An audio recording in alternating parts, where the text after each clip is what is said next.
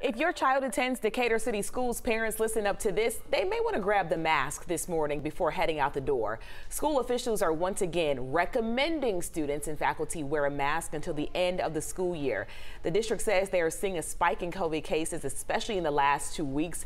Decatur City Schools officially dropped its mask mandate in March, so this is a recommendation.